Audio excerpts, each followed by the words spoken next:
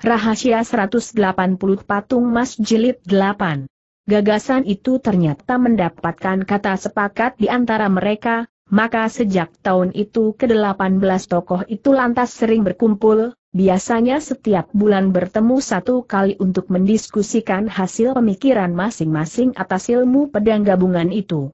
Siapa tahu baru sempat berkumpul dua kali saja, entah sebab apa, pertemuan serupa lantas bubar begitu saja, untung juga mereka bubarkan pertemuan begitu, kalau tidak, bukankah kakek guru dan gurumu akan dikalahkan oleh mereka ujar Keki.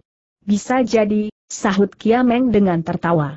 Cuma terhadap pertemuan mereka yang sengaja mendiskusikan ilmu pedang sakti itu tidak menimbulkan permusuhan guruku, sebaliknya beliau sangat senang, sebab dipandang dari sudut mengembangkan ilmu silat secara murni, diskusi begitu memang sangat bermanfaat, ia merandek sejenak, lain menyambung, sebaliknya, biarpun titik sasaran diskusi mereka itu adalah ingin mengalahkan kakek gurumu dan guruku, namun mereka pun tetap sangat menghormati kedua beliau, sedikitnya tidak ada rasa permusuhan dan dendam.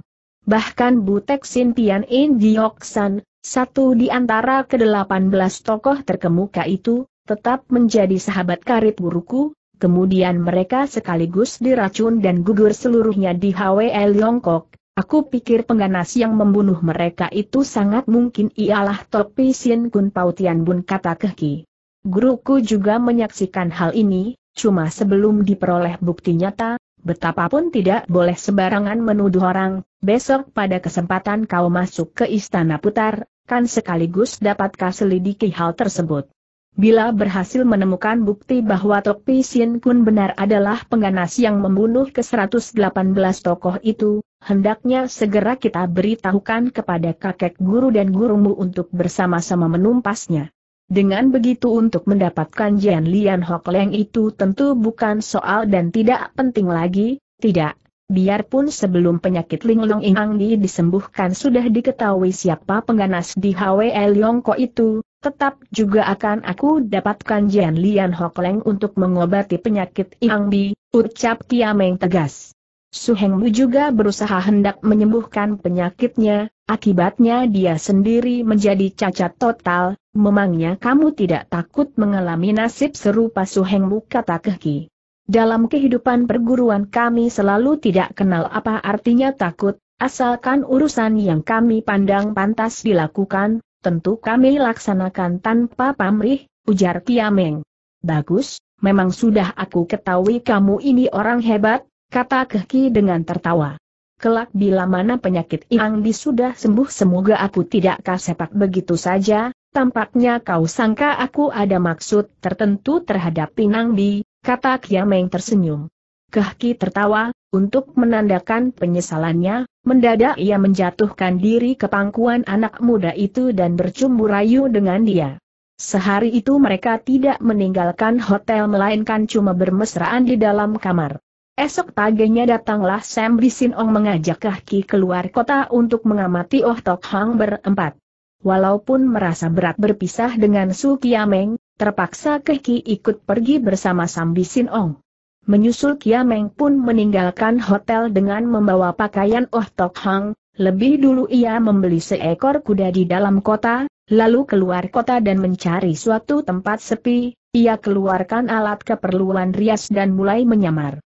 Ia merencanakan akan berangkat lewat lohor ia taksir menjelang maghrib sudah dapat tiba di istana putar musuh. Sebab pulang ke Istana Putar pada waktu malam tentu lebih sulit diketahui penyamarannya oleh anak murid Topi Sin Kun. Dengan sendirinya ia menyamar dengan sangat teliti, lebih dari satu jam ia merias diri baru terasa puas.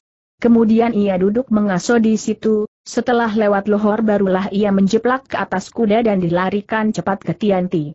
Waktu asap dapur sudah banyak mengepul di rumah penduduk, Sampailah dia di sekitar istana putar musuh. Soan Kiong atau istana putar adalah bangunan yang megah menghadapi danau dan membelakangi bukit. Dipandang dari bentuknya serupa sebuah gedung besar orang kaya raya. Sepanjang mata memandang gedung susun berderet-deret, sedikitnya berjumlah ratusan. tapi bila dia mati lebih deretan bangunan itu ternyata bersambung satu sama lain, tidak ada satupun yang berdiri sendiri-sendiri. Sebab itulah bila dipandang begitu saja sangat mirip sebuah sarang tawon raksasa. Di sekeliling istana putar itu banyak pepohonan tinggi besar dan menghijau permai. Jalan yang menembus pintu gerbang istana putar itu dilandasi batu mengkilap, Kedua samping jalan ada barisan tiang lampu yang rajin dan terasa keren pula suasananya. Sungguh, bagi orang yang tidak tahu seluk-beluknya tentu akan mengira majikan istana putar itu pasti seorang tokoh yang keren luar biasa dan berwibawa. Kiameng terus melarikan kudanya ke depan, diam-diam ia pun terkesiap melihat kemegahan kompleks bangunan istana putar itu. Tiba-tiba pintu gerbang istana putar terbuka, dari dalam berlari keluar tujuh penunggang kuda dengan cepat, segera pula Kiameng dapat mengenali dua di antara ketujuh penunggang kuda itu adalah murid kedua dan ketiga Topi Sin Kun, yaitu Jiliang dan Tong Hang Ding. Waktu diamati lagi, terlihat dua di antara rombongan itu adalah dua orang perempuan genit. Segera pula Kiameng dapat memastikan mereka juga anak murid Topi Sin Kun, Cepat ia menunduk dan berlagak orang yang lelah dalam perjalanan jauh serta menyongsong rombongan mereka itu. Ketika sudah agak dekat, mendadak terdengar Jil yang berteriak kaget, Hei, bukankah itu si T, adik keempat, sudah pulang dengan lagak lesu Kiameng mengangkat kepala dan memandang mereka sekejap, lalu pura-pura kehabisan tenaga dan terperosot ke bawah kuda. Jil yang bertujuh berseru kaget dan khawatir, serentak mereka melompat turun dari kuda masing-masing dan memburu maju untuk menolong. Yang pertama mendekati Kiameng adalah Jil Yang, cepat ia memayangnya bangun dan hanya khawatir. Engkau kenapa? Sute Kiameng menampilkan senyum getir, ucapnya dengan suara yang dibikin lemah, Ti, tidak apa, aku cuma, cuma mengalami sedikit luka dalam dan, dan menempuh perjalanan selama belasan hari, maka, oh, Lalu care bagaimana kau lari pulang? Tanya Jil yang cepat. Dan bagaimana pula dengan Toa Suheng dan lain-lain? Kiameng tidak menjawab, ia cuma menghela napas panjang dan menunduk lemas, lagaknya itu seakan-akan hendak menyatakan sekarang jangan tanya dulu, biarlah aku mengasuh sebentar. Sebab itulah Tong Hang Bing lantas menyambung, Jiko, aku kira si Te perlu istirahat dulu, marilah kita membawanya menemui suhu saja, Jiliang mengangguk setuju dan segera mengangkat Kiameng dan dibawa jalan cepat ke arah istana putar. Setelah menambat kuda masing-masing di tiang lampu, keenam orang yang lain juga cepat menyusul di belakang Jiliang. Dalam keadaan begitu, dengan sendirinya Kiameng tidak leluasa untuk memandang kian kemari, maka pemandangan sesudah memasuki pintu gerbang kompleks bangunan istana putar hampir tidak jelas lagi baginya. Waktu masuk ke dalam istana, yang terlihat cuma batu marmer belaka, baik lantai, dinding dan di mana-mana hampir melulu batu marmer yang bercahaya mengkilat. Cuma, dari pajangan dalam bangunan yang terlintas di bawah pandangannya sudah cukup membuatnya terkesima, dilihatnya segala sesuatu di dalam istana putar itu sungguh teramat mewah, sama sekali tidak kalah dibandingkan istana raja. Selagi heran, Jiliang yang memondongnya itu tiba-tiba berhenti di sebuah kamar batu marmer. Entah care bagaimana pula komunikasi diadakan, hanya sebentar saja Jiliang berada di situ, segera berkumandang suara seorang yang sangat dingin dari luar kamar, siapa itu Tecu Jil yang adanya oh oh, ada apa kau putar kembali ke sini lapor suhu, si Teki Seki dapat pulang kemari, oh, care bagaimana dia dapat lari pulang? Tecu belum sempat tanya padanya, sebab si Te mengalami luka dalam, waktu bertemu dengan kami segera ia jatuh terperosot dari kudanya, dan sekarang sudah Tecu bawa kemari, baik. Coba bawa dia menemuiku di Cip Gitia, ruang pendopo pertemuan, baru saja Jil yang mengiyakan, mendadak dinding marmer di depan terpentang bagian tengah sehingga berwujud sebuah pintu. Berturut-turut Jil yang bertujuh lantas masuk ke ruangan sana dengan mengusung Sukiameng. Di balik pintu adalah sebuah jalan lorong yang panjang sempit, atas bawah dan kanan kiri jalan seluruhnya terdiri dari batu marmer, meski jarak sepuluh langkah tentu tergantung sebuah lampu gelas yang indah, namun tetap terasa suasana yang seram. Sebelum berada di tempatnya tentu takkan merasakan bahayanya. Sekarang Meng mulai merasakan dirinya seperti memasuki neraka, secara mendalam dirasakannya sekalipun dirinya berhasil menemukan peta rahasia kotak emas, untuk kabur keluar istana putar yang aneh ini mungkin jauh lebih sulit daripada terbang ke langit. Sungguh, meski pengetahuannya dalam hal pesawat rahasia sangat sedikit, namun ia tahu di sekitar lorong sempit itu pasti banyak terpasang pesawat rahasia yang mengerikan di seluruh istana putar itu, mungkin cuma jalan lorong yang dilaluinya sekarang yang tidak terpasang perangkap. Akan tetapi lorong sempit ini paling-paling cuma seperseribu daripada seluruh luas istana putar, nanti bila dirinya berhasil mendapatkan peta lantas care bagaimana akan dapat lolos dari tempat bahaya melalui jalan aman yang cuma seperseribu ini. Selagi benak Kiameng diliputi berbagai tanda tanya itu tahu-tahu Jil yang sudah berhenti di ujung lorong itu. Segera Kiameng merasa tegang pikirnya, ah, sudah sampai di tempat tujuan. Segera akan dapat aku lihat bagaimana wujud si iblis besar topi Sin Kun Pautian Bun namun di luar dugaannya, ketika dinding marmer di kanan ujung lorong itu mulai terbuka dengan perlahan, yang terlihat olehnya bukanlah ruang pendopo segala melainkan ada sebuah lorong lagi.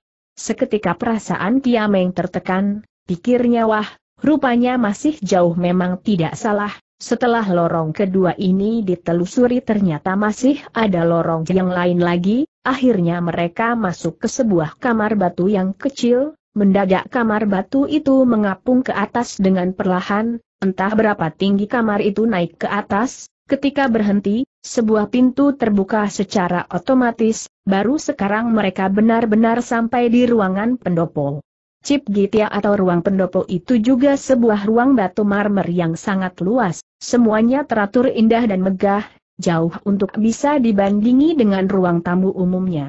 Cirinya yang khas adalah semua meja kursi di ruang ini juga terbuat dari batu marmer.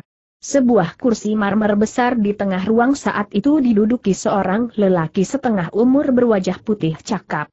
Di belakang orang setengah baya ini berdiri dua pelayan gadis jelita berdandan seperti dayang keraton. Kalau tidak melihat lengan baju kiri orang setengah umur itu ternyata kosong tanpa lengan, hampir Su Kiameng tidak percaya bahwa orang inilah Topi Sin Kun Pau Tian Bun yang namanya mengguncangkan dunia persilatan itu. Menurut bayangan Su Kiameng, selama ini ia sangka Topi Sin Kun si malaikat sakti lengan tunggal pasti seorang kakek yang berwajah bengis dan aneh, sama sekali tak terduga bahwa tokoh termasyhur justru seorang lelaki setengah baya dengan wajah cakap dan sikap lembut.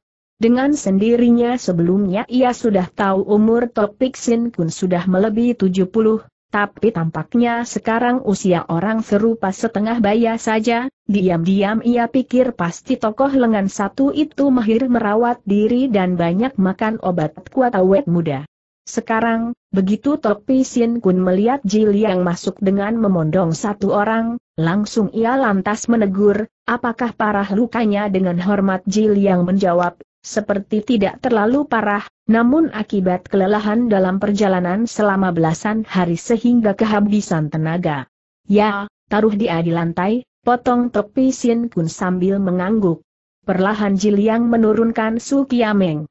Topi Sin Kun berbangkit perlahan dan mendekati Kiameng ia berjongkok dan memegang urat nadinya sejenak lalu berucap dengan kening berkernyit, EHM, hanya jantungnya berdenyut agak terlampau cepat, yang lain semuanya normal, pada saat itu jantung Su Kiameng memang berdebar terlebih keras daripada biasanya, ini disebabkan pikirannya diliputi ketegangan yang sangat. Maklumlah, apa yang dihadapinya ini kan detik yang menentukan sukses atau gagal serta hidup dan matinya. Untung juga ketegangannya itu menimbulkan denyut nadinya yang terlebih keras daripada biasanya sehingga menambah kesungguhannya, dari sikap Topi Sin Kun sesudah memeriksa nadinya, dapatlah Kiameng mengetahui dirinya telah berhasil mengelabui lawan. Perlahan ia memandang lurus ke arah topi Sin Kun, dengan lagak ada napas tanpa tenaga ia berseru. Su, suhu. Topi Sin Kun mengiyakan perlahan. Padamu kan selalu terbawa Tai Hoan Po Beng Tan, pil sakti pelindung nyawa, mengapa tidak kau minum barang satu biji Tai Hoan Po Beng Tan, pil itu telah, telah hilang sewaktu Tecu bertempur, jawab Kiameng lemah. Topi Sin Kun berdiri lalu berpaling dan berkata terhadap Ji Liang, beri minum sebiji Tai Hoan Po Bengtan untuk sisu temu si harimau terbang Ji Liang cepat mengeluarkan sebuah botol porselen kecil, dituangnya keluar satu biji pil sebesar kedelai kuning terus dijejalkan ke mulut Su Kiameng. Pernah juga Kiameng mendengar Tai Hoan Po Bengtan adalah obat mujarab penyembuh luka dalam buatan khas Topi Sin Kun, obat mujarab yang cespleng, maka setelah minum obat, sejenak kemudian ia pura-pura sembuh mendadak terus duduk. Topi Sin Kun duduk kembali di kursi batu marmer, katanya, sekarang coba ceritakan pengalamanmu, Kiameng berlagak menyesal dan malu, tuturnya, care bagaimana Tecu jatuh ke dalam cengkeraman Su Kiameng mungkin suhu sudah mendapat laporan Topi Sin Kun mengangguk. EHM, Aku dengar Su Kiameng menyaru sebagai pengtasiu dan memukulmu hingga pingsan, kemudian bagaimana entah berselang berapa lama setelah Tecu pingsan, ketika perlahan Tecu siuman kembali, Tecu merasa anggota badan kaku tak bisa bergerak, rupanya hiatu kelumpuhan Tecu ditutup orang sehingga tak sanggup berkutik.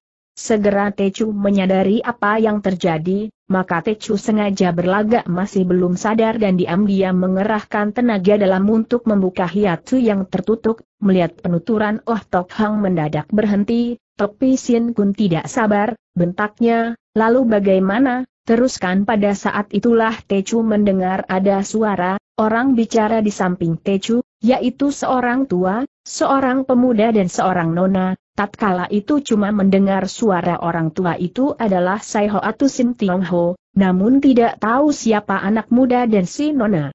Cuma setelah mengenali suara Sai Ho atau segera Tecu menyadari terjadi sesuatu di luar dugaan, apa yang dibicarakan mereka waktu itu tanya Topi Sin Kun.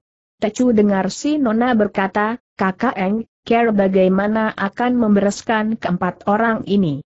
Pemuda yang dipanggil kakak Eng itu menjawab, Keempat orang ini adalah murid Topi Sin Kun, seharusnya mereka dihukum mati saja, cuma kita masih perlu menuju ke istana putar musuh untuk merebut kembali peta pusaka, untuk menjaga kemungkinan di luar dugaannya, agaknya kita perlu mengatur langkah mundur.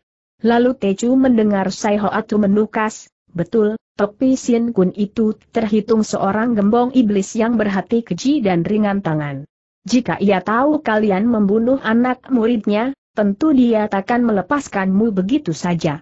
Maka aku kira untuk sementara ini jangan membunuh keempat orang ini. Biarlah sekarang kita kurung dulu mereka, kemudian kalian menuju ke istana musuh untuk mencuri peta. Jika berhasil tentu tidak menjadi soal lagi, sebaliknya bila gagal, keempat orang ini kan berguna dijadikan sandra untuk memeriksa Topi Sin Kun menyerahkan peta, lantas terdengar si pemuda menanggapi.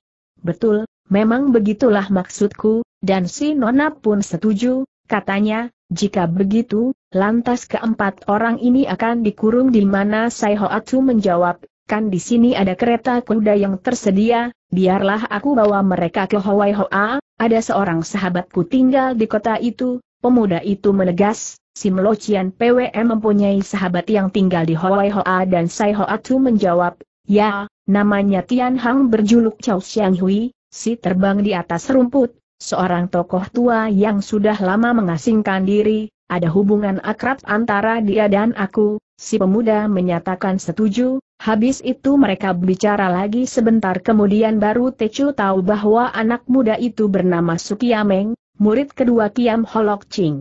Hui sedangkan si Nona adalah cucu murid Kiamong Chiong Licin, putri Hang Hun Kiam Hiap Ih Kik Pin, namanya Ih Kiki.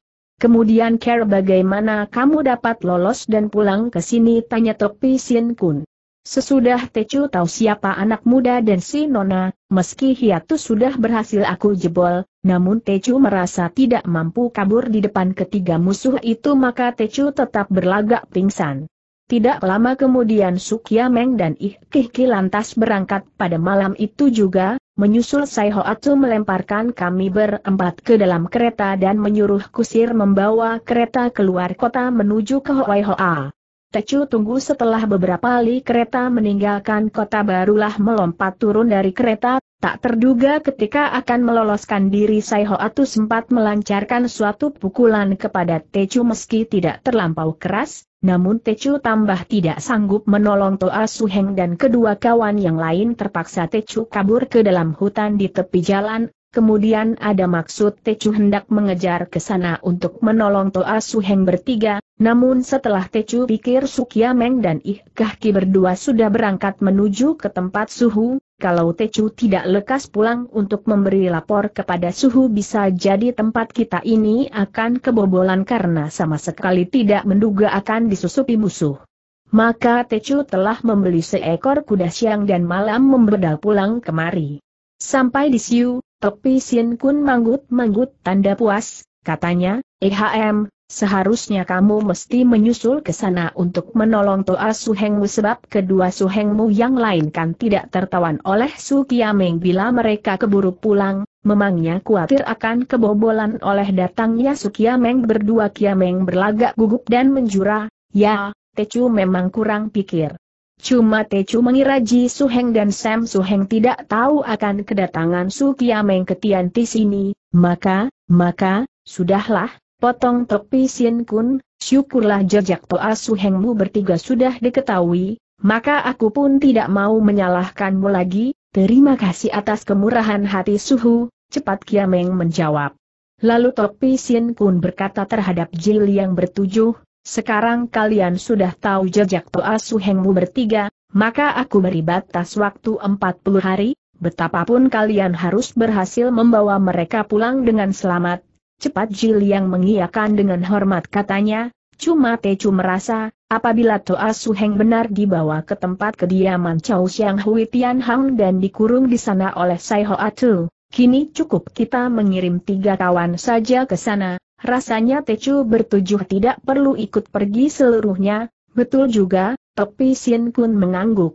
Maka boleh kau pergi bersama Tong Hang Beng dan Kiit Liong saja, Jiliang, Tong Hang Beng dan murid kelima Topi Sin Kun, Hwe Epian Hok Lit Leong, si kelelawar kelabu, ketiganya mengiyakan dengan hormat dan mengundurkan diri. Sorot Metle, Topi Sin Kun yang tajam menyapu pandang sisa keempat muridnya yang masih di situ katanya dengan bengis. Aku yakin sekarang Su Kiameng dan Ih Kahki sudah sampai di Tianti, maka mulai malam ini kalian harus lebih waspada, Bila mana melihat orang yang mencurigakan mendekati istana, harus cepat memberi laporan keempat orang serentak mengiyakan dengan sangat hormat, baiklah, sekarang kalian boleh keluar, kata Topi Sin Kun. Maka Sukyameng lantas ikut keempat Sute dan Sumowai mengundurkan diri dari Cip Gitia dan masuk ke kamar batu kecil tadi untuk turun ke bawah, kemudian keluar menelusuri lorong-lorong panjang itu. Sekarang Sukyameng mulai menghadapi masalah kedua. Ia tahu keempat Sute dan Sumoai yang bersamanya sekarang, yang seorang bernama Hao Tiap Yap Hui, si kupu-kupu belang, seorang lagi bernama Tok Yat Im Som Hyong, si kala jengking berbisa. Adapun kedua yang lain adalah Sumoai, adik seperguruan perempuan, yang seorang bernama Goat Tebi Jin Tiao Soatlan, si cantik bulan purnama, dan yang lain bernama Giok bin Losan Lo Giok Bi, si hantu bermuka putih. Masalahnya sekarang adalah, siapa di antara mereka itu yang bernama Hao Tiap Tiap Hui? Dan yang mana lagi yang bernama Giok Hibi Jin Tiao Soatlan dan seterusnya. Bila mana sekarang ia tidak dapat menyebut nama mereka dengan tepat, tentu kepalsuannya akan ketahuan juga. Selain itu, ia masih harus memahami segala kebiasaan Oh Tok Hang, yang perlu segera diketahuinya adalah di mana letak kamarnya sendiri. Untuk memancing keterangan, terpaksa Kiameng mengada-ada dan mengajak bicara mereka, tiba-tiba ia telah didahului, eh, Siko, aku dengar Su Kiameng itu sangat ganteng dan cakap, Apa betul yang bertanya ini adalah satu di antara kedua sumoai itu usianya kira-kira 23 atau 24 alisnya lentik matanya jeli bibir merah dan gigi putih rajin bak biji ketimun, lagak lagunya genit senyumnya juga menggiurkan orang. Dengan tak acuh Kiameng menjawabnya, oh, Kau dengar dari siapa? Nona Genit itu menjawab dengan tertawa, dari cerita Sam Suko ia menantangku berani memikat Su Kiameng atau tidak maka perlu aku cari keterangan dulu mengenai orangnya, jadi kamu bermaksud memikat Su Kiameng itu, betul, jawab si Nona Genit. Sam kau mengira aku si cantik bulan purnama ini tidak berani mengusik orang susu itu, maka sengaja aku terima tantangannya, aku akan beraksi biar dia tahu kemampuanku, diam-diam Kiameng merasa girang, ia pikir sungguh kebetulan, selagi kebingungan karena tidak tahu siapa-siapa di antara kalian sekarang kamu mengaku sebagai si cantik bulan purnama Tiao Soatlan maka dengan sendirinya kawanmu itu adalah Giok Lo Sat Lo Giok Bi. Dengan tertawa ia pun menanggapi, kau ingin memikat Su Kiameng, aku kira harapanmu sukar terkabul. Sebab di samping pemuda susu itu aku lihat selalu ada seorang nona cantik namanya Ih Kohki, hektometer, budak sekecil itu tahu apa jengek Tiao Soatlan. Anak ingusan seperti itu masakah aku pandang sebelah mata sementara itu satu di antara sote juga ikut bertanya, eh, ya, Siko, sesungguhnya betapa cantiknya Nona Shia itu Sukiameng berlagak mendengus dengan tertawa, hektometer, Tampaknya kau pun menaksir anak gadis orang pemuda itu tertawa dan menjawab, ah, masakah si kau khawatir aku jatuh hati terhadap nona keluarga? Ya itu betul, jawab Kiameng sungguh-sungguh, ih kaki itu putri kesayangan Hang Hun Kiam Hiapih Kipin, coba bayangkan, betapa tinggi ilmu pedangnya ajaran Raja Pedang Ciong Licin itu. Jadi nona Ya itu boleh diibaratkan setangkai mawar berduri haha, apabila si kau takut, biarlah aku si kupu-kupu belang saja yang mengerjai dia, seru pemuda tadi dengan tergelak. Diam-diam Kiameng gembira, sebab sekarang ia sudah kenal siapa mereka berempat ini. Ia pikir sekarang tinggal berusaha menemukan kamar roh Tok Hang saja, lalu dapatlah ia melaksanakan operasinya dengan bebas di lingkungan istana putar musuh ini. Dengan tertawa ia berkata pula jika Lakte menaksir Nona ih biarlah aku mengalah tapi bila kamu berbalik tertusuk oleh duri mawar yang tajam itu kelak jangan mengeluh, hoa oh tiap tertawa senang ucapnya, tidak mungkin terjadi. Soalnya sekarang adalah ih kaki itu benar cantik atau tidak? Bila wajahnya cuma biasa-biasa saja, kan tiada gunanya bagiku, biarpun tidak aku ketahui bagaimana wajahnya tapi dari suaranya yang merdu itu aku kira tidaklah jelek, ujar Tiameng. Si cantik bulan purnama ikut menimbrung. Eh, Siko engkau belum lagi menjawab pertanyaanku tadi. Sukyameng itu cakap benar atau tidak waktu itu aku sendiri jatuh pingsan pada hakikatnya tidak tahu jelas wajah Sukyameng, dari mana aku tahu dia cakap atau tidak tutur Kiameng. Si cantik bulan purnama menarik alis, ucapnya dengan tertawarnya aku yakin dia pasti sangat ganteng kalau tidak masakah ih kaki itu mau mengikuti di akian kemari, tengah bicara, mereka pun sudah keluar dari lorong panjang itu dan sampai di suatu serambi kecil.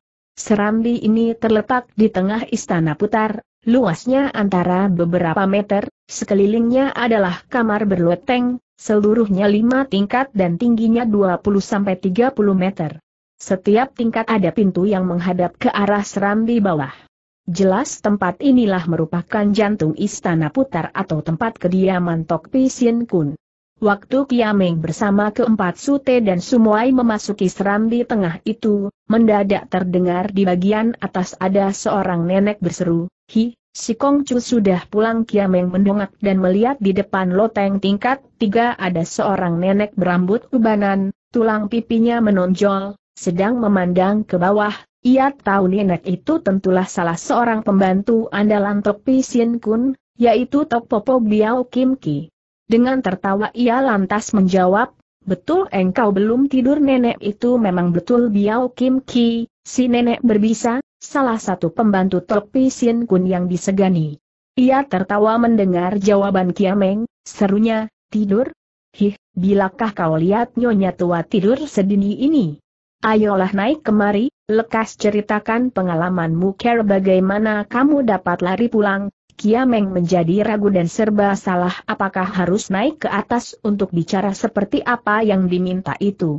Tengah sangsi, terlihat keempat Sute dan Sumowai tadi telah terpencar dan masuk ke kamar masing-masing, bahkan diketahui mereka sama sekali tidak menggubris terhadap Tok Popo Biao Kim Ki. Karena itulah Kiameng merasa dirinya pun tidak perlu menggubris permintaan nenek itu, segera ia berkata dengan menggeleng, biarlah bicara besok saja, aku sangat lelah karena menempuh perjalanan jauh, aku harus istirahat dulu sembari bicara ia pun melangkah ke arah kamar di depan seram di sana. Sebabnya dia menuju ke kamar itu karena menurut perhitungannya kamar Hoao Tiap terletak nomor dua di sebelah kiri, sedangkan kamar Giok bin Loset, Goat Hibijin dan lain-lain berurut-urutan dengan kamar Hoao Tiap, ini menandakan kamar mereka pun terletak berurutan menurut urutan tua muda mereka. Dan kalau begitu, Oh Tok Hang diketahui murid keempat, sedang Hoao Tiap nomor enam, itu berarti kamar Roh Tok Hang terletak kedua di sebelah kiri Hoa Oh Tiap, sebab itulah ia langsung menuju kamar yang diincar. Waktu ia tolak pintu kamar, terlihat alat perabot di dalam kamar sangat indah, kasur selimut di tempat tidur rajin teratur, ia yakin ini kamar Roh Tok Hang, maka tanpa ragu ia masuk ke situ. Selagi ia hendak merapatkan pintu kamar tiba-tiba sebuah tangan mendorong pintu yang hampir merapat itu, Waktu ia pandang, kiranya Tok Popo Biao Kim Ki adanya. Terkesiap hati Kiameng dia berlagak tersenyum getir dan berkata, sudah aku katakan aku lelah dan ingin istirahat dulu, si nenek terus melangkah ke dalam kamar ucapnya dengan menyengir, aku justru ingin tahu dulu pengalamanmu kabur pulang ke sini, baru saja aku minum satu biji Tai Hoan Po Beng Tan sehingga dapat berjalan, tutur Kiameng. Si nenek tampaknya memang sok usilan, bukannya pergi ia berbalik duduk di sebuah bangku batu di dalam kamar ucapnya dengan tertawa. Boleh kau ceritakan dengan rebah di tempat tidurmu? Kiameng pura-pura kesal, ia duduk di tepi tempat tidur dan membuka sepatu lalu berbaring tanpa buka baju dengan malas. Ia berkata, aku terjungkal habis-habisan. Apanya yang berharga aku ceritakan? Aku dengar kamu ditawan Su Kiameng, Kemudian care bagaimana kamu berhasil kabur pulang, tanya si nenek. Dari gelagatnya Kiameng dapat menilai si nenek ini pasti seorang perempuan ceriwis, perempuan bawel, ia pikir biarlah omong kosong sedikit juga tidak menjadi soal, maka ia ulangi ceritanya seperti apa yang dikatakan pada Topi Sin Kun tadi. Akhirnya ia menyengir dan menambahkan, coba lihat, begitulah cara kulari pulang ke sini, Lucu bukan betapapun dapatlah kamu menyelamatkan jiwa, memangnya kamu tidak bersyukur akan tetapi sebenarnya kesempatan itu ingin aku gunakan untuk menyelamatkan Toa Suheng bertiga, akhirnya gagal sama sekali, kata Kiameng. Sekarang Ji Suheng dan Sam Suhengmu sudah memburu ke sana tentu keselamatan Toa Suhengmu tidak menjadi soal lagi. Eh, coba jawab, barang yang aku pesan itu sudah kau belikan atau tidak Tiameng terkejut dan bingung, cepat jawabnya dengan menggeleng, oh, ya, belum, lupa, huh, kalau main perempuan tentu kamu tidak lupa, jengek si nenek kurang senang. Jangan sembarang omong, ujar Tiameng, kepergianku ke Tionggoan ini sama sekali tidak pernah menjamah orang perempuan. Pengawasan Toa Suheng teramat ketat, ah, aku tidak percaya, kata si nenek. Satu hari tanpa teman tidur orang perempuan, mana Oh Tok Hong bisa tidur nyenyak. Masih juga berani kau bilang tidak pernah main perempuan, betul soalnya Toa Suheng mengawasi kami dengan ketat. Selain itu juga sukar mendapatkan perempuan cantik maka sekali saja tidak pernah main, cis, omong kosong, omel si nenek. Tionggoan seluas itu, masakah seorang perempuan cantik saja tidak dapat kau temukan ya, mungkin nasib lagi jelek, ujar Kiameng. Cuma, bicara sesungguhnya, Setelah aku lihat ke sana dan pandang kemari aku rasa betapa cantiknya perempuan Tionggoan tetap tidak melebihi beberapa nona yang mendampingi suhu itu. Buset, tampaknya kamu lagi menaksir si kunde emas yang meladeni gurumu itu goda si nenek dengan tertawa. Omong kosong, cepat Kiameng membantah, maksudku kan cuma untuk perumpamaan saja, mendadak Tok Popo berdiri dan tertawa ngekek, katanya, Sin Kun, silakan masuk menemui muridmu, selagi Kiameng melengak bingung, tahu-tahu pintu kamar didorong orang, ternyata yang melangkah masuk itu memang betul topi Sin Kun adanya. Di belakang sang guru bahkan ikut pula dua orang tua, seorang gemuk dan seorang lagi kurus. Melihat wajah topi Sin Kun yang menampilkan senyum dingin, diam-diam Kiameng merasa gelagat tidak enak, cepat ia melompat turun dan memberi hormat.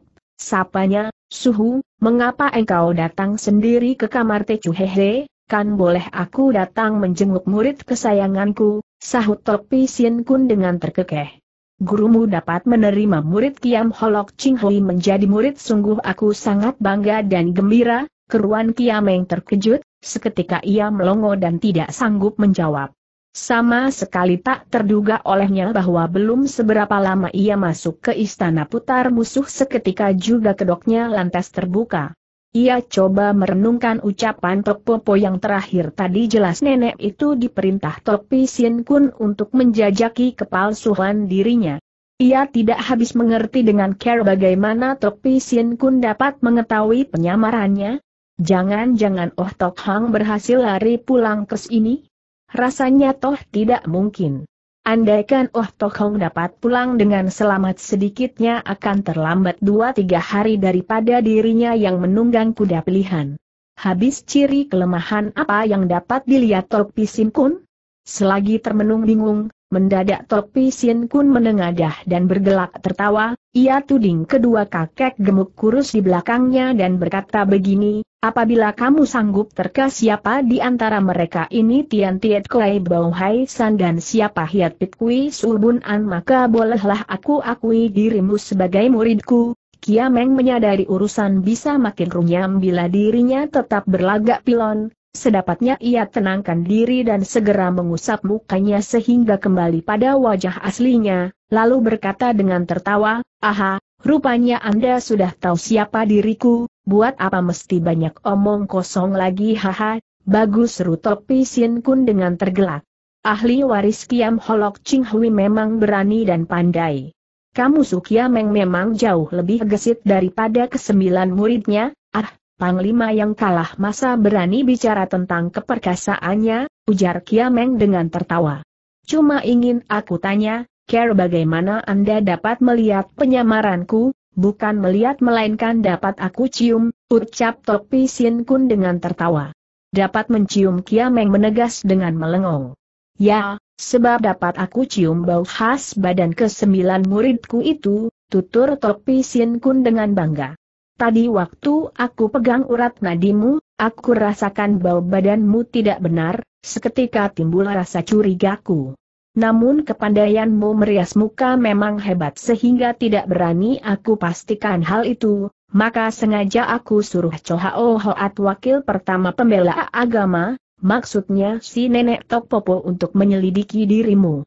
Hasilnya membuktikan kamu memang barang palsu, sebab pada hakikatnya Chohao Hoat tidak pernah pesan minta dibelikan barang segala, juga di sampingku tidak ada pelayan yang bernama si Kunde Emas, Bicara sampai di sini segera Topi Sin Kun melangkah keluar kamar sambil memberi perintah, bahwa dia keluar Tok Popo lantas memberi tanda pada Sukiameng, katanya, ayo jalan, keluar sana. Diam-diam Kiameng sudah mengamati keadaan, ia tahu tiada gunanya membantah, maka dengan bersih tegang leher ia ikut keluar. Sementara itu di halaman tengah tadi sudah berdiri menunggu Hoao Tiap, Tok Kat Giok bin Loset dan Goat Hibijin berempat, bahkan ketiga orang yang disuruh ke Hoai Hoa yaitu Pek Hui Hao, Kim Cipa dan Hwe Epian Hok juga hadir di situ. Air muka Hoao tiap berempat tampak mengunjuk rasa heran dan bingung, ini menandakan mereka pun baru saja diberitahu bahwa Oh Tok Hang adalah gadungan, makanya mereka kaget dan bingung. Topi Sin Kun berdiri di depan ketujuh orang itu dengan air muka masam diliputi hawa membunuh, agaknya bila Su Kiameng tidak memberi pengakuan sejujurnya, seketika dia akan turun tangan membunuhnya. Kiameng pun berdiri beberapa langkah di depan mereka, wajah tetap dihiasi senyuman santai, sebab sebelumnya sudah dirancangnya jawaban apa yang akan diberikan. Melihat ketenangan anak muda itu, Topi Sin Kun mendengus, nah, bicaralah, telah kau apakan keempat muridku itu sudah dibawa pergi oleh Sai Hoatsu dan Nona Ih, jawab Kiameng. Dibawa ke mana tanya Topi Sin Kun dengan menarik muka. Hal ini menyangkut mati hidupku, mana boleh aku beritahukan begitu saja jawab Kiameng tenang. Sorot mata, Topi Sin Kun menampilkan nafsu membunuh yang berkobar, ucapnya dengan tertawa dingin, jadi kamu berkenan tidak mau mengaku ya, tidak jawab Kiameng tegas. Kau kira dengan sikap keras kepalamu ini nyawamu akan dapat dipertahankan jengek topi Sin Kun. Kiameng tersenyum, ya, aku kira seharusnya begitu, sebab yang kau kehendaki ialah Sai Ho atau Sim Tiong Ho, jika aku kau bunuh lalu ke mana akan kau cari? Dia akan tetapi bila kamu tetap tidak mau mengaku, untuk apa pula aku biarkan kamu hidup? Ujar Topi Sin Kun. Apabila aku katakan terus terang aku takkan kau bunuh tanya Kiameng. Betul, yang aku kehendaki adalah kota emas itu, bila mana kau katakan di mana beradanya Sai Hoatu, setelah aku kirim orang dan membawa dia kemari segera juga akan aku bebaskan dirimu, Kiameng menggeleng kepala, ucapnya, akan tetapi, maaf, aku tidak percaya terhadap janjimu, Topi Sin Kun mengangkat alis, jadi kamu bertekad ingin mati saja dengan sendirinya tidak, ujar Kiameng. Memangnya ada orang bosan hidup benar-benar habis, sesungguhnya apa kehendakmu? tanya Topi Sin Kun dengan gemas. Aku harap kau berikan kembali peta pusaka itu dan membebaskan diriku, segera pula akan aku bebaskan keempat muridmu itu, jawab Kiameng. Tidak kepala gusar topi Sin Kun mendadak ia berputar dan menuju ke suatu pintu dan membentak, bawa dia ke kamar pelaksana hukuman segera Sukyameng digusur ke suatu kamar batu yang penuh berserak berbagai macam alat siksaan. Begitu memasuki kamar batu itu, segera Topi Sin Kun duduk di suatu kursi marmer dan membentak, nah, copot seluruhnya dua orang lelaki kekar yang berjaga di kamar siksaan itu segera mendekati Sukiameng dan mulai membelejeti pakaiannya. Anak muda itu tahu sukar terhindar dari siksaan, namun ia tetap tenang saja tanpa melawan sebab ia maklum, jangankan cuma topi Sin Kun saja yang sukar dilawannya, bahkan cukup anak muridnya, asalkan maju dua orang es aja sudah cukup membuatnya mati kutu. Apalagi sekarang dirinya berada di tengah istana putar yang penuh perangkap itu, kalau melawan berarti akan menambah siksaan belaka. Akan tetapi, ketika kedua lelaki kekar itu membelejeti dia hingga cuma tersisa sehelai celana dalam saja, mau tak mau ia mulai gugup, teriaknya, Hei, masakah celana dalam ini juga akan kalian buka ucapannya menimbulkan gelak tertawa Pek Hui Hao bertujuh. Sin Kun lantas memberi aba-aba, baiklah, boleh seret ke sana dan ikat sekencangnya. Segera kedua lelaki tadi menyeret Kiameng ke atas sebuah bangku panjang yang disebut bangku harimau, dengan tali kulit kerbau seluruh tubuh diikat dengan erat. Maju perintah pula Sin Kun. Seorang lelaki kekar segera mendongkel lutut Su Kiameng, kawannya mengambil sepotong bata dan dijejalkan sekuatnya ke bawah paha. Kiameng menjerit kesakitan. Rupanya apa yang disebut bangku harimau itu adalah sejenis alat siksa yang lihai. Lebih dulu bagian kaki dan lengan korban diikat erat, lalu bagian lutut diganjal dengan batu bata, lutut bisa terbetot hancur dan sakitnya tak terperikan.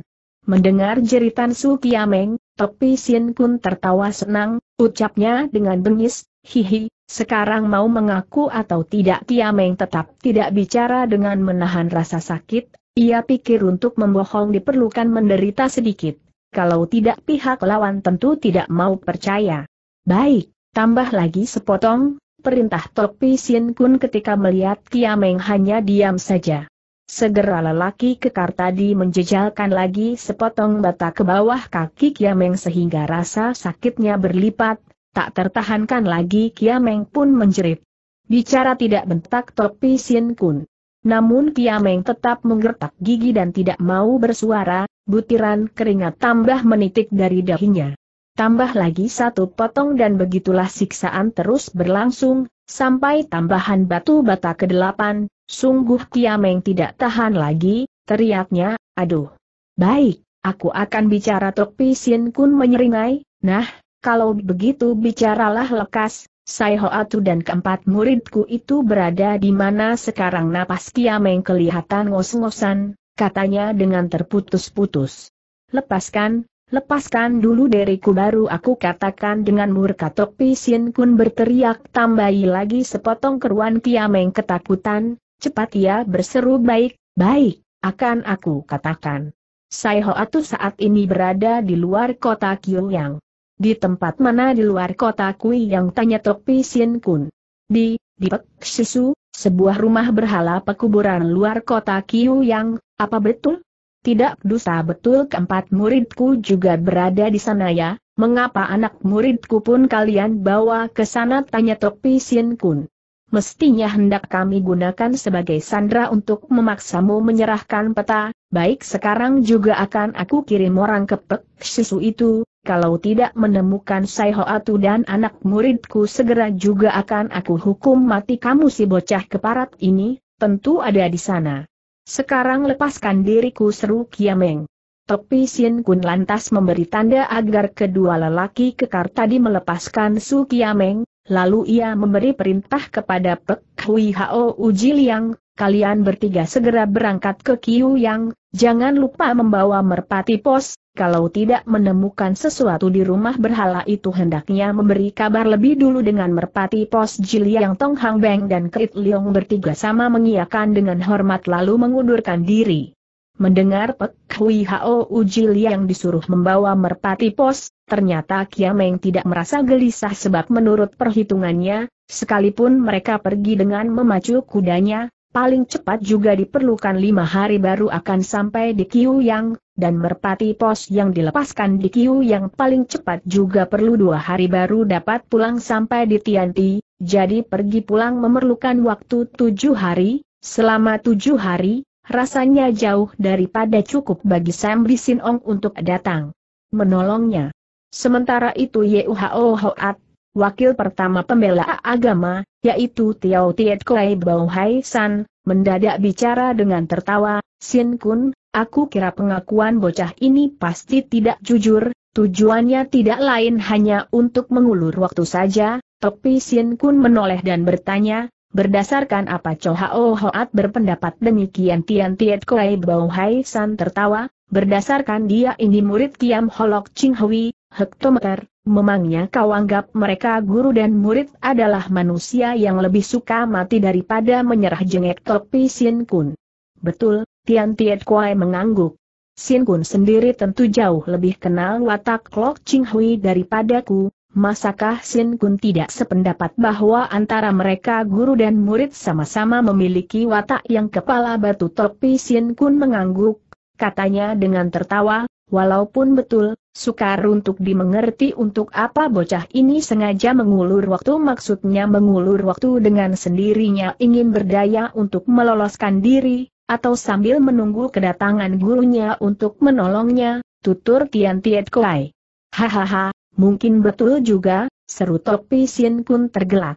Cuma, apakah kau anggap bocah ini mampu lolos keluar dari istana putar kita ini dengan sendirinya dia tidak mampu, cuma, kau kira Kiam Holok Ching Hui mampu memasuki istana putar kita ini potong Topi Sin Kun. Tian Tiet Kuai Bau Hai San berpikir sejenak, Katanya kemudian, ini sukar untuk dikatakan, cuma Kiam Holok Ching Hui juga bukan kaum keroco, dia. Tapi aku justru yakin, biarpun seratus orang Lok Ching Hui juga jangan harap akan masuk ke istana putar kita ini, jengek topi Sin Kun.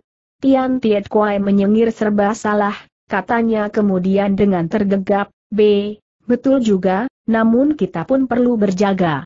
Topi Sin Kun mengangguk setuju, Lalu jengeknya terhadap Su Kiameng, anak keparat, jika pengakuanmu tadi tidak benar, sebaiknya dalam beberapa hari ini kamu harus berusaha kabur dari tempat ini. Hektometer, kalau tidak, bila mana diketahui pengakuanmu cuma dusta belaka, maka, hehe, ingin aku lihat care bagaimana akan kau tahan siksaanku, Kiameng menghela napas panjang, katanya, jarak dari sini ke Kiu yang tidak terlampau jauh, pergi pulang paling lama hanya tujuh hari, benar atau tidak keteranganku boleh kau lihat saja nanti, Topi Sin Kun tertawa, katanya terhadap kedua lelaki kekar tadi, bawa dia ke dalam Tesimlo, kamar tahanan pusar bumi, kedua orang itu mengiyakan dengan hormat. Lalu menyuruh Kiameng memakai baju, kemudian menggusurnya masuk ke suatu pintu kecil ke kamar siksaan itu. Begitu melangkai pintu kecil itu, Segera Kiameng merasakan kamar itu pun sebuah kamar batu marmer kecil, ia dengar kedua lelaki kekar di belakangnya tidak ikut masuk ke situ. Waktu ia menoleh, terlihat pintu batu sedang merapat dengan perlahan dan kedua orang itu memang benar berdiri di luar sana.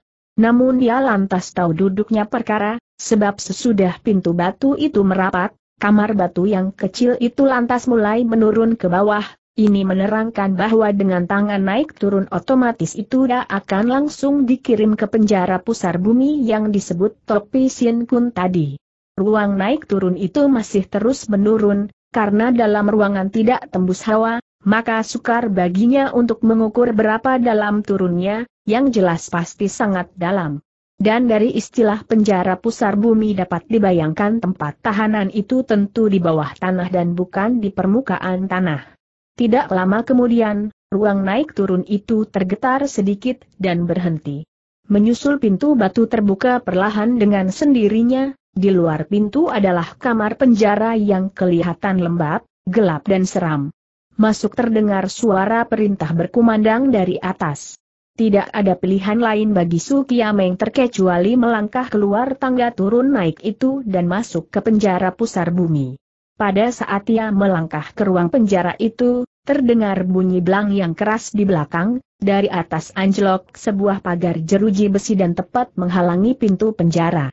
Kiameng membalik tubuh dan memegang pagar jeruji itu dan bermaksud mengangkatnya sekuatnya, Siapa tahu pagar besi yang kelihatannya cuma beberapa ratus kati itu ternyata berbobot beberapa ribu kati, biarpun dia mengeluarkan segenap tenaga juga tidak mampu mengangkatnya sedikit pun. Ia tahu pagar besi itu pasti digerakkan oleh sesuatu tombol, segera ia tinggalkan maksud mengangkat pagar besi itu melainkan berputar untuk mengamati keadaan sekeliling kamar penjara. Terlihat kamar penjara ini luasnya cuma 2-3 meter persegi, dinding sekeliling terbuat dari batu, mungkin karena terlalu dalam dari permukaan bumi, maka dinding tampak basah, lantai bahkan pecomberan belaka, untung di dalam kamar ada sebuah dipan batu yang dapat digunakan duduk dan rebah, selain dipan batu ini tiada terdapat barang lain. Ia duduk di depan batu itu, mau tak mau timbul juga semacam rasa takut mati, diam-diam ia tanya diri sendiri apakah mulai sekarang dirinya hanya bisa menunggu kedatangan Sam Bisin Ong yang akan menolongnya? Namun jawabnya sendiri dengan tidak. Hal ini tak dapat diandalkan, sebab seperti apa yang dikatakan Topi Sin Kun seratus orang Kiam Holok Ching Hui saja jangan harap akan dapat memasuki istana putarnya. Jika begitu biarpun Sam Bisin Kun memahami sedikit seluk-beluk istana putar, mungkin juga tidak dapat menolongnya keluar. Apalagi antara Sam Bisin Ong dan dirinya cuma ada hubungan kepentingan materi saja dan tidak ada hubungan batin. Bila mana menemukan kesulitan tidak mungkin orang mau menolongnya dengan mengorbankan diri sendiri bahkan bisa jadi timbul perubahan pendiriannya dan berbalik bekerja sama dengan Topi Sin Kun untuk mengerjainya. Sebab itu, care bagaimana baiknya meloloskan diri dari istana putar musuh, jalan paling baik adalah mengandalkan usaha sendiri. Namun urusan yang jauh tidak perlu dibicarakan yang jelas, sekarang saja sudah sulit, care bagaimana dirinya bisa lolos dari kamar tahanan putar bumi ini. Begitulah sembari berpikir ia pun mengamat-amati sekitarnya, tanpa terasa ia tertawa getir. Ternyata tempat ini bukan kamar penjara biasa, kalau tidak ada bantuan dari luar selama hidup jangan harap akan dapat lari keluar. Akan tetapi, bantuan dari luar yang diharapkan itu kecuali Sam Bisinong saja, memangnya siapa lagi? Gurunya? Pada hakikatnya sang guru tidak tahu dia terkurung di istana putar musuh. Apakah Sai Hoatu? Dia akan berada dalam cengkeraman Sam Bisinong, Mungkin ada niatnya menolong, namun apa daya, tenaga tak sampai. Belang-belang-belang, tiba-tiba terdengar tiga kali suara aneh yang perlahan dan membuyarkan lamunannya. Ia tersentak sadar, sorot matanya memancarkan cahaya aneh, cepat ia mencari dinding sekeliling kamar, tercetus suaranya, siapa itu yang mengetuk dinding tidak ada jawaban. Tapi berselang tak lama, Kembali terdengar suara ketukan lagi tiga kali. Sekali ini Kiameng dapat mendengar suara itu datang dari dinding sebelah kanan, berbareng itu pun dapat diduganya timbulnya suara itu sangat mungkin datang dari sebuah kamar tahanan yang sama di sebelah situ. Jadi suara ketukan dinding itu sengaja dilakukan oleh seorang tahanan. Berpikir begitu, ia menjadi girang, cepat ia melompat sebelah sana, Sambil meraba dinding ia berteriak, Hai, hai, engkau siapa tetap tidak ada jawaban atau reaksi. Serentak ia pun paham duduknya perkara ia pikir bila mana pihak. Sana dapat mendengar suaranya, tentu orang itu tidak perlu mengetuk dinding lagi. Karena itu, segera ia pun menggunakan telapak tangan untuk memukul dinding tiga kali. Belang belang belang. Ternyata benar, segera datang suara jawaban. Kia Meng sangat gembira, kembali ia pukul dinding empat kali. Ia pikir jika orang di sebelah sana juga orang tawanan tentu orang akan menjawabnya dengan empat kali ketukan juga. Dan belang, ternyata betul pihak sana juga balas menepuk dinding empat kali. Girang Kia Meng luar biasa, sudah ia ingin bisa lekas mengadakan pembicaraan dengan pihak sana. Tapi ia pun tahu kalau tidak mengorek dulu sebuah lubang yang menembus ke sebelah sana sebagai sarana komunikasi tentu sukar bicara dengan pihak sebelah. Sebab itulah cepat ia melolos keluar sebilah belati yang tersembunyi di sepatunya. Sekuatnya ia tancapkan belati ke celah-celah batu dinding. Mungkin Topi Sin Kun yakin biarpun tumbuh sayap pun anak muda ini takkan mampu kabur dari tempat tahanan ini, maka sejauh itu tidak merampas barang bawaannya. Dan sekarang belati yang digunakan Su Kiameng ini adalah satu di antara barang perbekalannya. Dengan hati-hati Kiameng mengorek sekitar sepotong batu dinding, lama-lama celah batu pun mengendur dan makin mendalam ketika kemudian ia mendorong ke depan sekuatnya, Berturut-turut ia tolak dua tiga kali, akhirnya batu dinding itu bergerak, serak, batu itu ambles beberapa senti ke sebelah sana. Bagus. Dorong lagi, lekas dorong lagi terdengar suara seorang tua serak berkumandang dari tempat sebelah. Kia Meng sangat girang kedua tangan digunakan sekaligus dan mendorong sekuatnya, maka terdengar suara berak, sepotong batu terlempar ke ruang sebelah sama. Untung tepat pada waktunya orang di sebelah sana sempat menangkap batu itu dan berkata dengan tertawa, wah, hampir saja terlempar ke lantai batu itu lebarnya tahun 2020-an senti dan panjang setengah meter, setelah batu ini terbongkar seketika dinding seperti terbuka sebuah lubang jendela.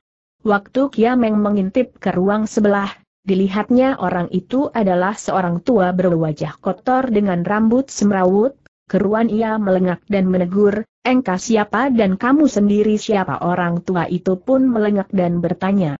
Aku Sukia Meng Kiam Holok Ching Hui ialah guruku, numpang tanya siapa lo tiang bapak yang mulia seketika air muka si kakek menampilkan rasa girang dan bersemangat, katanya, apa katamu? Siapa nama gurumu Kiam Holok Ching Hui jawab Kiameng. Jika begitu, jadi saudara cilik ini orang yang mahir kungfu tanya si kakek. Betul, memangnya Lo Tiang sendiri bukan orang persilatan terkesiap juga Sukiameng. Ya, sama sekali aku tidak paham ilmu silat, tutur kakek itu. Kalau Lo Tiang tidak mahir ilmu silat, mengapa Topi Sin Kun mengurungmu di sini si kakek tersenyum getir, wah, panjang sekali kalau aku ceritakan. Meski aku tidak paham ilmu silat, namun Topi Sin Kun justru sangat takut padaku, memangnya mengapa tanya Kiameng tidak mengerti. Aku si Pen bernama Chong Hun, pernah kau dengar namaku tidak-tidak? Tanda petik. Ya, aku maklum. Usiaku masih muda, apabila kamu berumur lebih 50 tentu tahu siapa aku ini, Kiameng tidak menanggapi melainkan menunggu cerita orang lebih lanjut. Kakek itu menghela napas menyesal tuturnya pula, Aku ini keturunan Panji, yaitu arsitek yang termasyhur di zaman dahulu. Agaknya bakat keturunan, aku mahir teknik bangunan dan terkenal sebagai Shinjio, ahli teknik. Sebutan Shinjio itu mengingatkan Tiameng kepada cerita yang pernah didengarnya dari sang guru bahwa di zaman ini ada seorang ahli teknik termasyhur bernama Shinjio Pancong Hun dan pernah diserahi tugas membangun istana raja serta bertugas mengatur berbagai alat pesawat yang rumit, sungguh seorang teknik yang jarang ada bandingannya.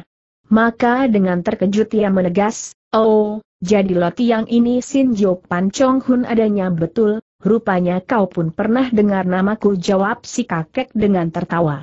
Memang, pernah guruku bercerita padaku tentang Lotiang, tutur Piameng. Katanya Lotiang adalah seorang ahli teknik yang tidak ada bandingannya di zaman ini.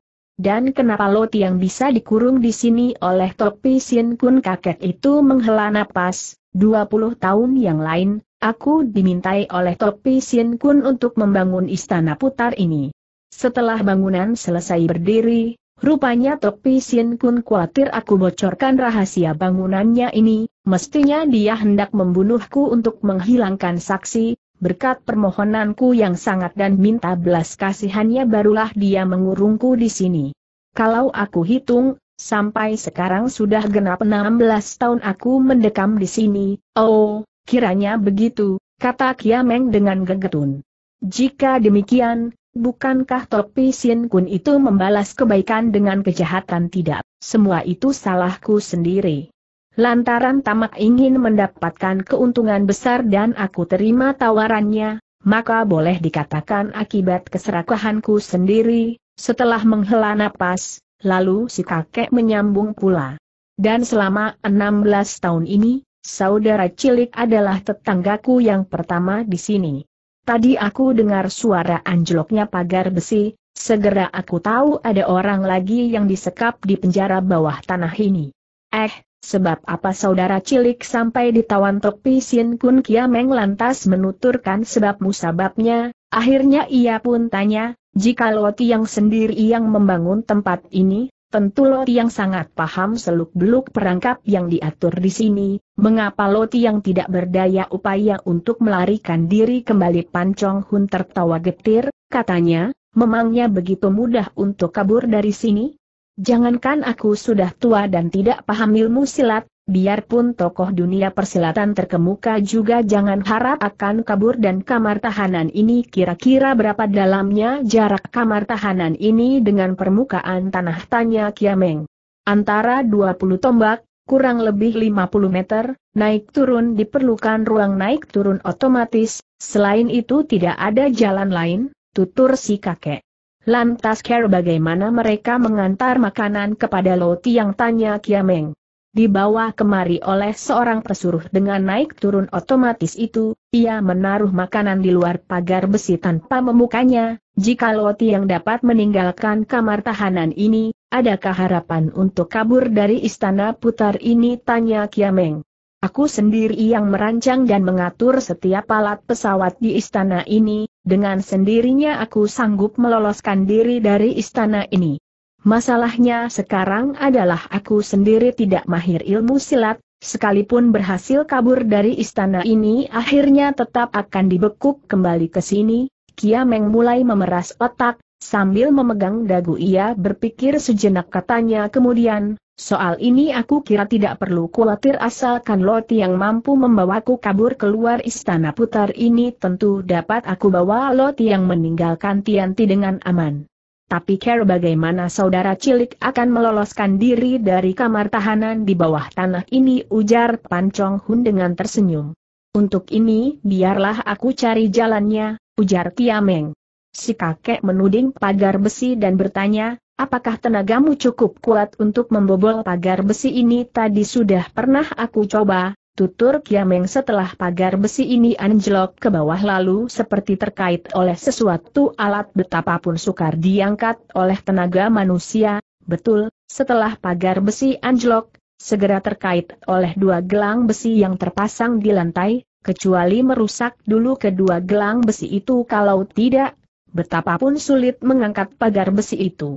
Sedangkan gelang besi terpasang di luar pagar besi dan sukar dicapai oleh sepanjang lengan, coba kira bagaimana akan kau buka aku kira kita dapat mencari akal untuk menyuruh mereka sendiri yang membukakan pagar besi ini, ujar Kiameng. Pan Chong Hun tertawa, kau bilang menyuruh mereka membukakan pagar besi ini. Haha, janganlah melucu. Sudah 16 tahun aku mendekam di sini, Selama itu pagar besi ini hanya pernah dibuka dua kali, sebab apa pagar besi ini perlu dibuka dua kali tanya Kiameng. Satu kali, mereka datang kemari untuk membersihkan kotoran. Satu kali lagi lantaran pesawatnya mengalami kerusakan dan mereka perlu minta bantuan untuk membetulkannya, Kiameng berpikir pula agak lama, tanyanya kemudian, apakah setiap hari mereka datang membawakan makanan menurut waktu tertentu betul, satu hari dua kali, pagi dan petang, tutur si kakek. Jika begitu, malam ini jelas mereka takkan datang ke Maria, makan malam bagianku sudah aku selesaikan, tadi sekarang harus menunggu lagi sampai pagi baru datang makanan pagi, baru habis ucapannya, sekonyong-konyong di atas kamar penjara itu berkumandang suara berisik. Si kakek terkesiap, katanya cepat, wah, celaka, mereka datang, lekas betulkan batu yang terlepas ini, batu ini kan masih kau pegang, kata Kiameng. Sinjo Pancong Hun memandang batu yang dipegangnya dan cepat dijejalkan ke lubang dinding yang dibobolnya tadi. Kiameng juga tidak berani ayal, cepat ia melompat ke atas depan batu dan berlagak tidur. Sejenak kemudian, tangga otomatis itu sudah turun sampai di luar kamar tahanan, Lalu pintu tangga perlahan terbuka, dari dalam melangkah keluar seorang lelaki tegap. Sebelah tangan lelaki itu menjanjing satu bakul makanan dan ditaruh di luar pagar besi, lalu melongok beberapa kejap ke dalam kamar penjara, kemudian bersuara, Sukiameng, inilah santapan malam untukmu, Sukiameng berlagak terjaga bangun, sapanya dengan tertawa, eh, Siapakah nama saudara yang terhormat aku Ciu? jawab orang itu. Kiameng mendekati pagar besi untuk memeriksa makanan dalam bakul, katanya kemudian dengan tertawa, wah, ada ikan dan ada daging, boleh juga ya di istana putar kita ini, yang dimakan senantiasa barang lezat dan mahal, tutur lelaki itu dengan tertawa.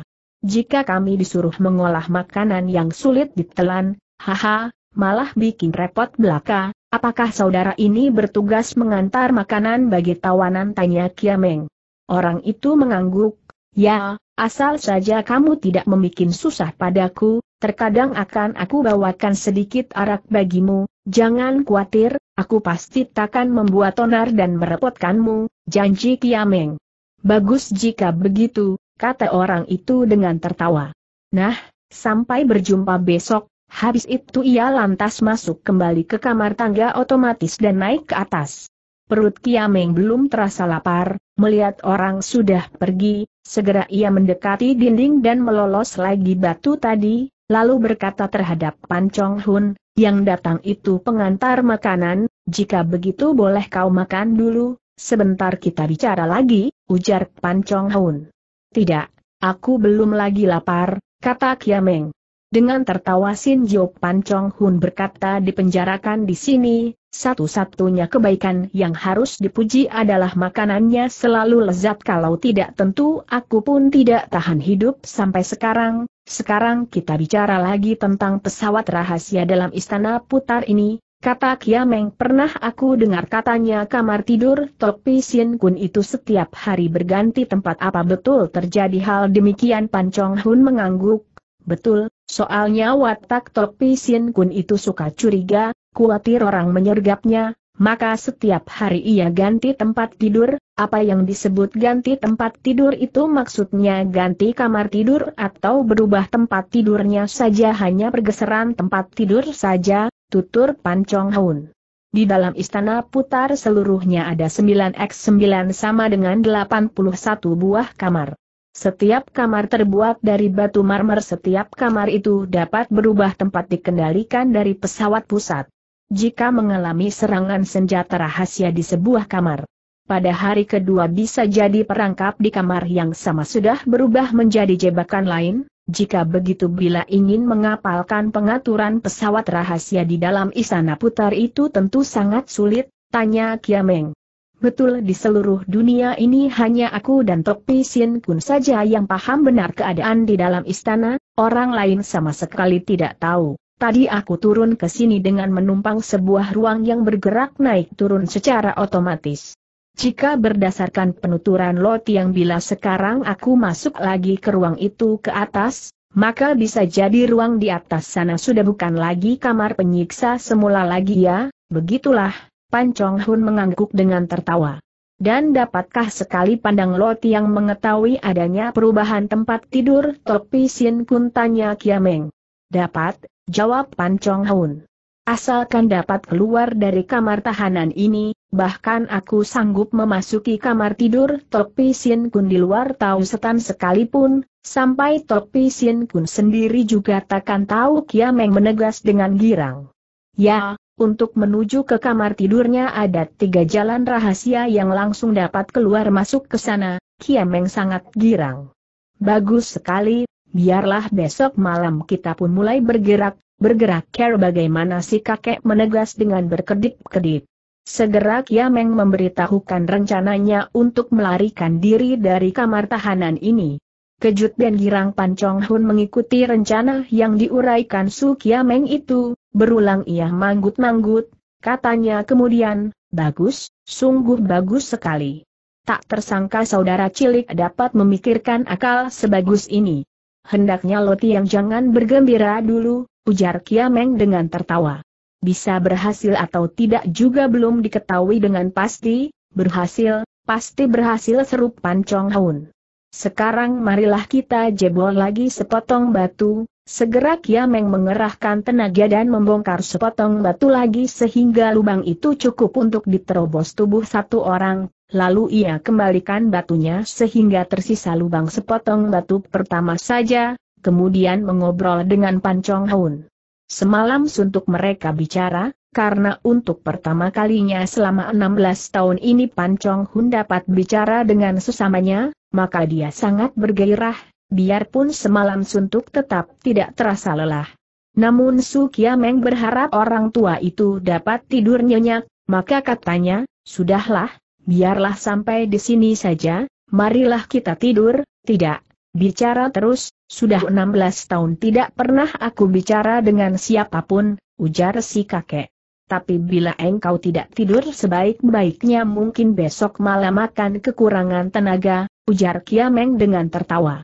Sinjo Pancong Hun pikir ucapan anak muda itu pun betul, ia angkat pundak dan berkata, Baiklah, semoga aku dapat tidur nyenyak, setelah menerobos kembali dan menyumbat lagi batu dinding, Kia rebah di depan batu.